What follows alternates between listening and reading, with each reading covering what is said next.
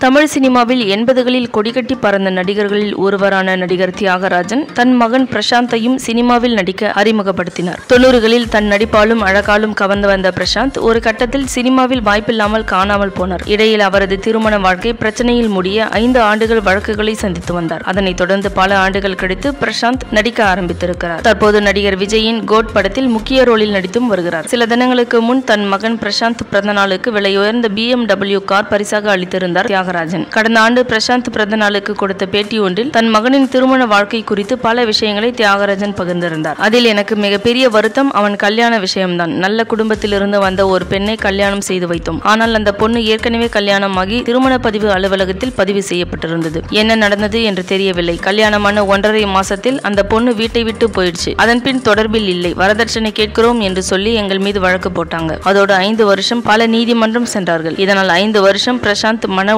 உளைச்சலில் இருந்தது. எனக்கு மிகப்பெரிய வருத்தம் என்று விரைவில் கல்யாணம் பண்ணி வைக்க வேண்டியது என் கடமை என்று கூறியிருந்தார். இந்நிலையில் விரைவில் பிரசாந்திற்கு திருமணம் செய்ய முடிவெடுத்திருப்பதாகவும் சொந்தத்தில் பார்த்த பெண்ணை தான் திருமணம் செய்து வைக்க போவதாகவும் செய்திகள் வெளியாகியுள்ளது ஆனால் இந்த தகவல் பிரசாந்த் தரப்பில் இருந்து அதிகாரப்பூர்வமான அறிவிப்பு வெளியாகவில்லை என்பது குறிப்பிடத்தக்கது. இந்த வீடியோ உங்களுக்கு பிடிச்சிருந்தா லைக் பண்ணுங்க ஷேர் பண்ணுங்க கமெண்ட் பண்ணுங்க. மறக்காம நம்ம சேனலை சப்ஸ்கிரைப் பண்ணுங்க.